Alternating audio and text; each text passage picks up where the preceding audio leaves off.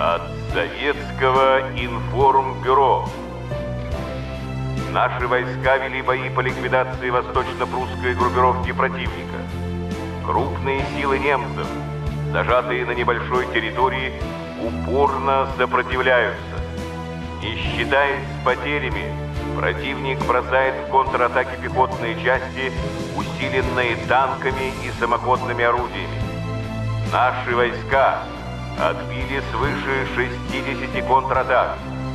Взламывая оборону противника, советские части обходят его опорные пункты, а затем уничтожают вражеские гарнизоны.